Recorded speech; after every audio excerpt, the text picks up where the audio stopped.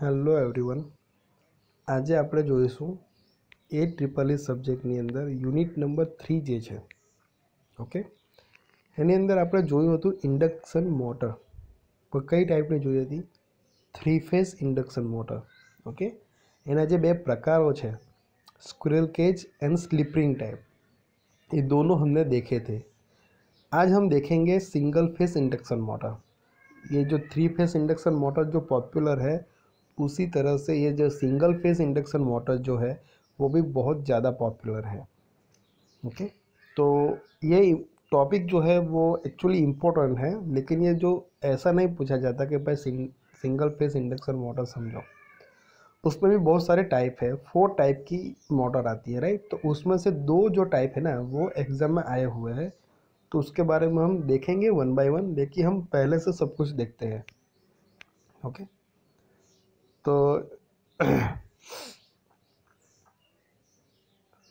यहाँ पे जो है सिंगल फेस इंडक्शन मोटर कब यूज़ होती है तो यहाँ पे एक સિમ્પલ सा लिखा है देखो ઓછા હોર્સ પાવર રેટિંગ માટે ખાસ ઉપયોગમાં લેવામાં આવે છે right so if we require the less horse power rating then single phase induction motor is prefer as compare to the three phase induction motor और यहाँ पे और भी लिखा है देखो સિંગલ ફેઝ સપ્લાય પર ચાલતી હોવાને કારણે ઉદ્યોગો ઉપરાંત ઘરગથ્થુ સાધનો ચલાવવા માટે પણ વપરાય છે right so single phase induction motor है तो वो सिंगल फेस पे मतलब रन करती है तो उसकी वजह से क्या होता है इंडस्ट्री के अंदर तो यूज़ होता ही है लेकिन हमारे घर के जो इक्विपमेंट होते हैं उसको चलाने के लिए भी ये यूज़ होते हैं बहुत सारा है हमें पता भी नहीं है कि कहाँ पे यूज़ होता है हम पढ़ेंगे तब आपको पता चलेगा यहाँ पे भी यूज़ होते हैं राइट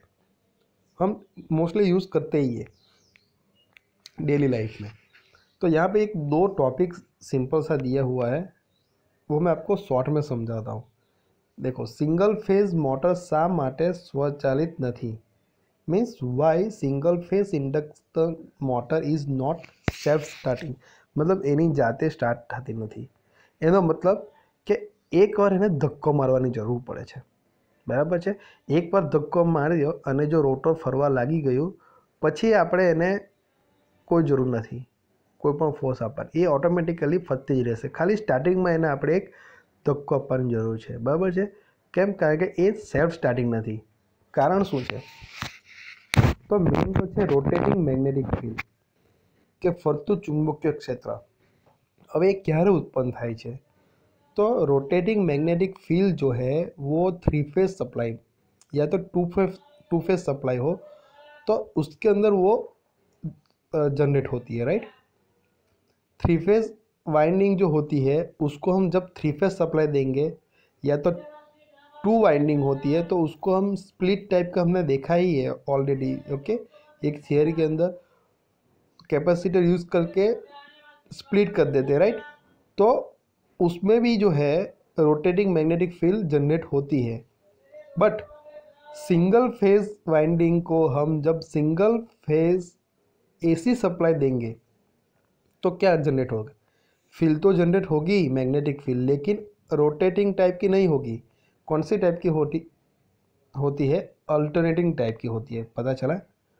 सो थ्री फ़ेज़ या सिंग टू फ़ेज़ वाइंडिंग जो है, उसको हम थ्री फ़ेज़ सप्लाई या to play two phase supply देंगे तब रोटेटिंग मैग्नेटिक फील्ड मतलब ફરતું ચુંબકીય ક્ષેત્ર ઉત્પન્ન થશે બરાબર છે પરંતુ જ્યારે આપણે સિંગલ ફેસ વાઇન્ડિંગને સિંગલ ફેસ એસી સપ્લાય આપીશું ત્યારે અલ્ટરનેટિંગ ટાઈપનું મેગ્નેટિક ફિલ્ડ જે છે એ જનરેટ થશે રોટેટિંગવાળું ના થશે બરાબર છે એના કારણે એ પોતે સ્ટાર્ટ થતી નથી એટલે એને કહેવાય છે સ્વચાલિત નથી સેલ્ફ સ્ટાર્ટિંગ નથી. બરાબર છે?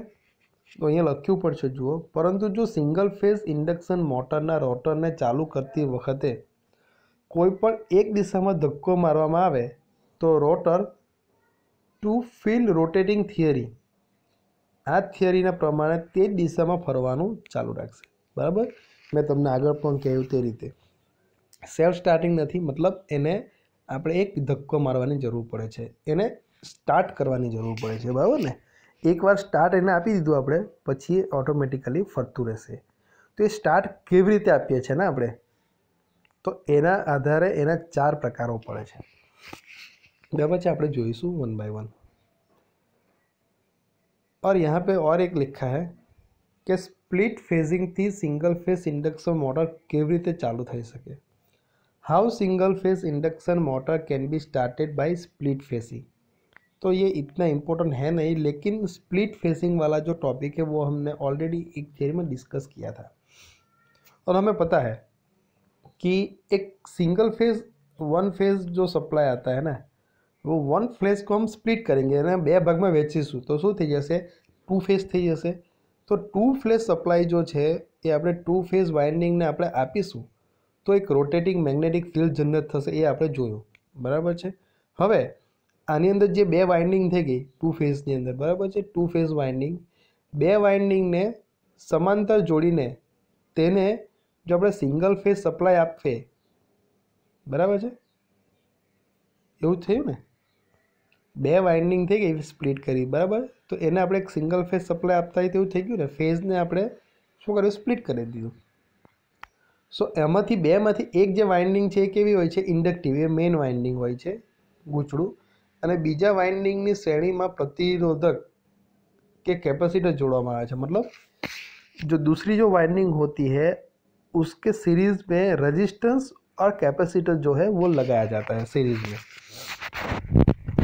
આના કારણે શું થશે કે બંને વાઇન્ડિંગ જે છે પ્રથમ અને દ્વિતીય મતલબ કે જે મેઇન વાઇન્ડિંગ અને આ જે બીજી વાઇન્ડિંગ છે એ એને કહેવાય છે સ્ટાર્ટર વાઇન્ડિંગ તો એ બંને વાઇન્ડિંગના માંથી જે પ્રવાહ પસાર થશે બરાબર એ વચ્ચે ખૂણો કેટલો બનશે નાઇન્ટી ડિગ્રીનો આને સ્પ્લિટ ફેઝિંગ કહે છે બરાબર છે બે ભાગમાં વેચાઈ જશે આમ બે પ્રવાહ એકબીજાથી આશરે નેવું ડિગ્રીનો ખૂણો બનાવે તેવી રીતે મળે છે જે टू फेज प्रवाह જેમ વર્તે છે राइट सो एक दूसरे जो दोनों जो है करंट जो पास होता है दोनों वाइंडिंग में से वो कितने डिग्री पे होता है नाइन्टी डिग्री पे राइट तो वही टू फेस की तरह वो काम करेंगे सो so, उसकी वजह से हमें रोटेटिंग मैग्नेटिक फील्ड जो है वो यहाँ पे मिलेगी कोई ओके और जो रोटर है वो एक डायरेक्शन में घूमने लगेगी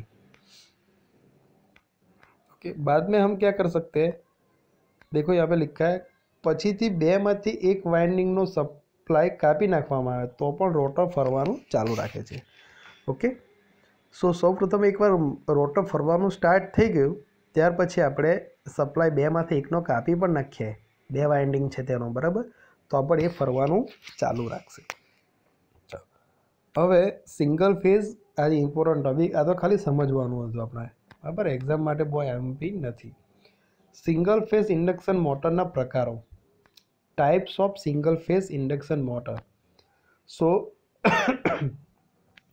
basically जो है ना वो फोर टाइप की आती है पहली है, वो है सेडेट पोल दूसरी है, प्रतिरोधक स्टार्ट इंडक्शन रन प्रकार। मतलब इंग्लिश में बोलबो तो प्रतिरोधक मतलब रजिस्टेंस तो resistance start induction run type third है capacitor start induction run type and fourth है capacitor start capacitor run type right so one by one हम देखने की ट्राई करते हैं यहाँ पे। पहले हम यहाँ पे देखेंगे ये सेडेड पोल के बारे में। तो ये अभी तक एग्ज़ाम में तो आई नहीं है, लेकिन आ भी सकते तो देखो यहाँ पे लिखा है shaded pole type induction motor तो यहाँ पे क्या दिया है, ये जो इंडक्शन मोटर है, उसके लिए कैसा जो कंस्ट्रक्शन है स्टेटर एंड रोटर का, वो दिया है यहाँ पे।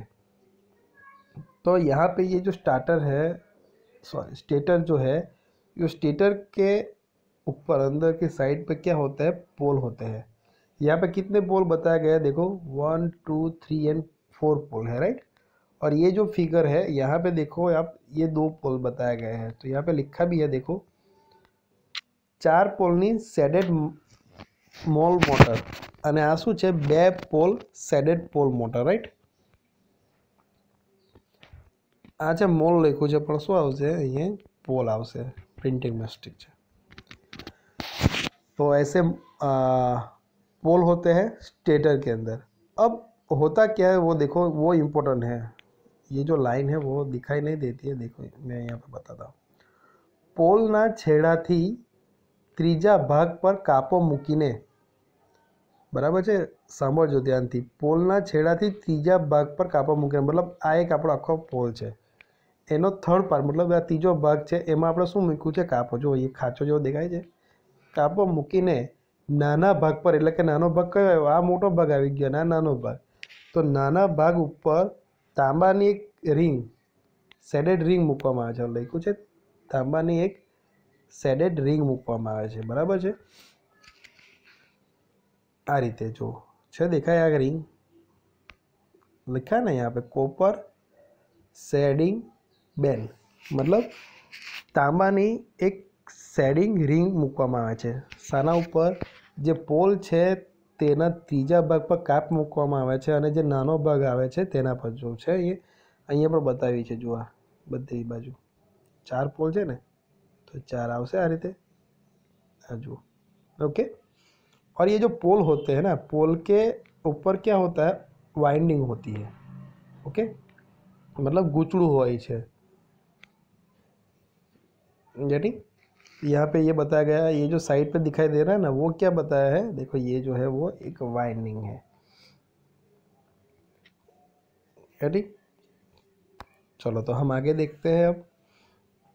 यहाँ पे क्या होता है, देखो, लिखा है, मोटर में बे के चार पोल हो बधा वाइंडिंग श्रेणी में जोड़ी ने तेने सप्लाय साथ जोड़े बराबर? सो टू या फोर जो पोल होते हैं और जो सारी सभी जो वाइंडिंग जो है, उसको सीरी, सीरीज़ में कनेक्ट करके उसको किसके साथ कनेक्ट किया जाता है? सप्लाई के साथ। अब रोटर जो, ये स्टेटर की बात हो गई। दूसरा जो पार्ट है रोटर, वो जो घूमता है अंदर बीच में, ये वाला है ये वाला। ये जो रोटर है, वो कौन सी टाइप की आती है? स्क्विरल केज टाइप की जो है, वो रोटर आती है। उसमें क्या होता है? तो देखो यहाँ पे, सिलिकॉन अथवा डायनेमो स्टीलना लेमिनेशन पर। बराबर है सिलिकॉन अथवा तो डायनेमो स्टीलना लेमिनेशन पर खाचा पाड़ी, ओके? स्लॉट किया जाता है। जो लेमिनेटेड जो पोर्शन होता है पूरा, ये सिलिकॉन या डायनेमो स्टील का लेमिनेशन जो होते हैं, उसको इसके अंदर स्लॉट किए जाते हैं। खाचा पाड़ी सड़िया खोसी बने बाजू थी तांबानी रिंग थी शॉर्ट करवा राइट सो जो कॉपर के जो है यहाँ पे स्लॉट के अंदर रोड जो है कॉपर के वो अंदर रखे जाते हैं और उसको दोनों साइड से क्या करते हैं शॉर्ट करते हैं क्या यूज़ करके कॉपर के रिंग यूज़ करके तो ऑलरेडी हमने इंडक्शन मोटर और दूसरे मोटर में भी देखा था रोटर का जो कंस्ट्रक्शन है वो उसी टाइप का होता है स्क्रील के टाइप में तो यहाँ पे ये दो फिगर के बारे में तो हमने डिस्कस किया अब हम उसका जो प्रिंसिपल है उसका जो मेन वर्किंग कैसे होता है ओके सेडेड पोल टाइपनी जो આપણી સિંગલ ફેસ ઇન્ડક્શન મોટર જે છે એ કાર્ય કેવી રીતે કરે છે એ મેઇન જોવાનું છે આપણે તો જુઓ આ ફિગરની અંદર આખું આપ્યું છે સમજવા જેવું છે શોર્ટમાં. જ્યારે પોલ પરના ગુચરામાંથી एसी प्रवाह पसार થાય છે मतलब जो पोल होता है उसके ऊपर क्या रखी है वाइंडिंग उसमें से जब करंट पास होगा एसी तब क्या होगा पोल के अंदर एक मैग्नेटिक फ़ील्ड जनरेट होगी ओके और पोल के ऊपर जो सेडिंग रिंग हमने रखी है देखो ये टाइप की है छोटे से भाग में सेडिंग रिंग रखी है वो क्या हो जाएगी इंडक्टिव हो जाएगी इंडक्टेंस हो जाएगा राइट यहाँ पे लिखा देखो पोल पन्नी सेडेड सेडिंग रिंग ने लीधे इंडक्टेंस થાય છે और उसकी वजह से क्या होगा इंडक्टेंस આથી જ્યારે વીજ પ્રવાહ વધે છે मीन्स जब करंट जो है वो ज़्यादा होगा इंक्रीज होगा तेरे रिंग में वीज प्रवाह प्रेरित थाई है ओके तब क्या होता है ये रिंग के अंदर क्या होता है जो करंट है वो इंड्यूज होगा बराबर प्रेरित था છે मतलब इंड्यूज होगा तो यहाँ पे लिखा भी है देखो ये पोर्सन ये पी क्यू ये जब पी क्यू पर्सन पोर्सन है उसमें जब करंट क्या होता है देखो इंक्रीज होता है पी से क्यू तक जाता है ना तो क्या होता है उसके अंदर करंट जो है रिंग के अंदर वो इंड्यूस होता है તેથી પોલના રિંગવાળા ભાગમાં ચુંબકીય ક્ષેત્ર ઓછું પેદા થશે એ કે આ પોલ જે છે તેનો જે રિંગવાળો ભાગ છે આખો પોલ છે બરાબર એની અંદર આ રિંગવાળો ભાગ છે એમાં ચુંબકીય ક્ષેત્ર કેવું પેદા થશે ઓછું જો અહીંયા બે લાઈન બતાવે છે ને ઓછું પેદા થશે અને મોટા ભાગનો ફ્લક્સ સેડેડ ભાગમાં પેદા થશે ઓકે? અને ફ્લક્સની અક્ષ કે કે અનસેડેડ ભાગમાં છે. તો જુઓ, એના કારણે શું થશે? મોટાભાગનો ફ્લક્સ જે છે, એ સેડેડ પોર્શનમાં થશે અને એની જે કહે છે ને આપણે કે અક્ષ કે કે અહીંયા બતાવી છે, એ કોની અંદર હશે? અનસેડેડ ભાગ. એટલે કે આ સેડેડ ભાગ કહેવાય, આ કયો કહેવાય? અનસેડેડ ભાગ કહેવાય. બરાબર છે? તો અહીંયા એની આ જે છે અક્ષ તે હશે. ક્યારેક જ્યારે આ પીક્યુ પોર્શન માટે આપણે વાત કરીએ ત્યારની વાત अब क्या होगा देखो नेक्स्ट કે જ્યારે પ્રવાહ ઘટ પ્રવાહ ક્યુઆર ગાળા દરમિયાન પ્રવાહનો ફેરફાર ઓછો થાય છે જો आई આ भाग छः सेकंड ये जो क्यू एंड आर के बीच में है उसके अंदर जो है करंट में जो चेंजेस आते हैं वो बहुत कम आते हैं उसकी वजह से क्या होगा कि इंड्यूस करंट जो है रिंग के अंदर सेडिंग रिंग के अंदर, ओके? वो बहुत कम हो जाएगा, या तो हम बोले तो होगा ही नहीं, ज़ीरो हो जाएगा। यानी उसकी वजह से क्या होगा कि पूरे जो पोल है ये मतलब ये सेडेड पोर्शन है इतना, ये अनसेडेड पोर्शन है, ये दोनों पोर्शन में एक जैसा जो फ्लक्स है ना, वो प्रोड्यूस होगा। करंट के अंदर जो इंड्यूस होता है ना, वो बहुत कम होता है, इसकी वजह से यूनिफॉर्म जो फ्लक्स है ना वो प्रोड्यूस होगा ये एंटायर पोल के अंदर। देखो ये ये सेडेड पोर्शन में और ये अनसेडेड पोर्शन में दोनों में सेम फ्लक्स प्रोड्यूस हुआ। और यहाँ पे जो अक्स है के के वो कहाँ पे होगी? ये मिडल में होगी। गेट तो पहले कहाँ पे थे? देखिए यहाँ पे थे। अब थोड़ी लेफ़्ट साइड ये शिफ्ट हुई, लेकिन यहाँ पे आ गई राइट अब देखो क्या होता है नेक्स्ट पोर्शन में। ये आर एस पोर्शन लेते हैं। तो यहाँ पे ये जो प्रवाह है करंट वो क्या होता है? कम होता है डिक्रीज होता है। तो क्या होगा? ओके? तो जब ये करंट डिक्रीज होता है तो होता क्या है कि जो फ्लक्स प्रोड्यूस होता है ना, वो ये अनसेडेड पोर्शन है, उसके अंदर बहुत कम होता है। और ये सेडेड पोर्शन के अंदर जो है, वो फ्लक्स ज़्यादा प्रोड्यूस होता है। तो के के जो एक्सिस है, वो जो है, ये मिडल पे थी, वहाँ से लेफ़्ट साइड शिफ्ट होकर कहाँ पे आ जाएगी, ये सेडेड पोर्शन में आ जाएगी। देखो, ये के के लिखा है ना, ये सेडेड पोर्शन में आ गए कब? जब ये करंट ये पोर्शन में हो मतलब डिक्रीज हो रहा हो, तब की बात है। ओके? तो उसका मतलब क्या हुआ? ये आप ध्यान से देखो तो क्या पता चलता है कि फ्लक्स की जो ए एक्सिस है, ये जो अक्स है फ्लक्सनी वो क्या होती है? अनसेडेड पोर्शन मतलब कि ये जो है हमारा अनसेडेड पोर्शन से सेडेड पोर्शन की डायरेक्शन में क्या होती है? शिफ्ट होती है, बराबर है ફ્લક્સની અક્ષ અનસેડેડ ભાગ તરફથી સેડેડ ભાગ તરફ ખસે છે બરાબર ને જો પ્રથમ અહીંયા હતી ત્યાર પછી થોડી ખસીને વચ્ચે આવી ત્યાર પછી આ અનસેડેડ પોર્શનમાં આવી ગઈ બરાબર છે इसका मतलब क्या हुआ એટલે કે ફ્લક્સ જાણે કે એન્ટી ક્લોકવાઇઝ દિશામાં ફરતો ન હોય અને પરિણામે રોટર આ કિસ્સામાં એન્ટી ક્લોકવાઇઝ દિશામાં ફરે છે એનો મતલબ શું થાય છે કે ફ્લક્સ આપણને ઘડિયાળની વિરુદ્ધ દિશામાં ફરતું હોય તેવું થાય એના કારણે જે રોટર છે એ આપણી એન્ટી ક્લોકવાઇઝ ડાયરેક્શનમાં ફરવા લાગશે બરાબર છે ખ્યાલ આવી ગયો તો આ રીતે આ કામ કરે છે હવે એના ફાયદાઓ છે અહીંયા લખ્યા છે ખૂબ જ ઇઝી કે रचना सादी है मतलब उसका जो कंस्ट्रक्शन है वो ना सिंपल है मजबूत बांधो છે ओके एक ये स्ट्रॉन्ग है एक्चुअली उसका जो पूरा जो कंस्ट्रक्शन है ना वो भी क्या है? स्ट्रांग है।